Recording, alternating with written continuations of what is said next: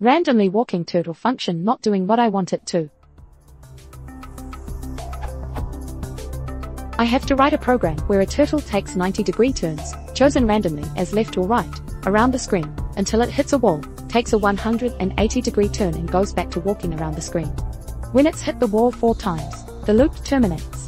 The problem I'm having is that when it bounces off the wall it just stops walking, and the loop has clearly terminated as I can close the window by clicking on it, wn.exitonclick. Here's the full program.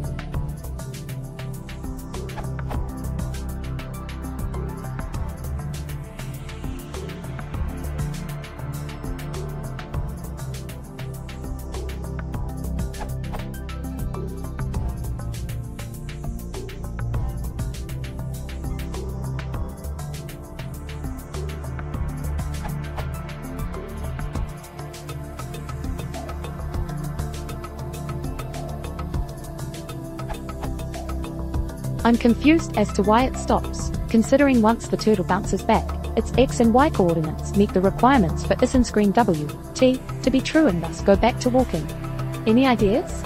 Edit, accepted Sukrit's answer as it was the easiest to relate to what I'd already programmed and gave me a few pointers on other stuff, but Brian's answer was very useful too and I'd accept both if it was possible. Thanks a lot to both of you.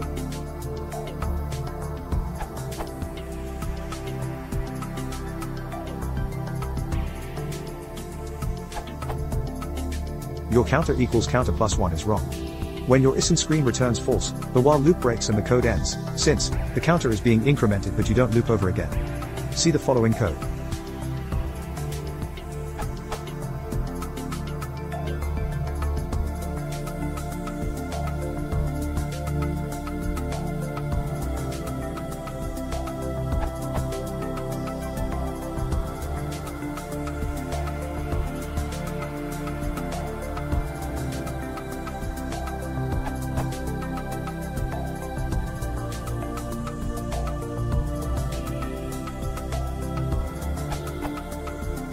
PS. You don't need a variable to store stilling. If the if condition evaluates to true, just return false, and if it doesn't return true, changes reflected in the above code.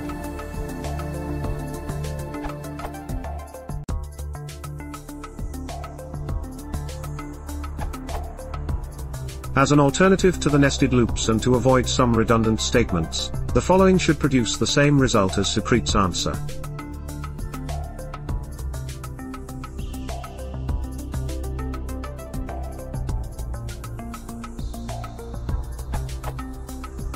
The core issue is making sure that is in screen returning false does not cause your while loop to terminate while also incrementing counter within the loop body.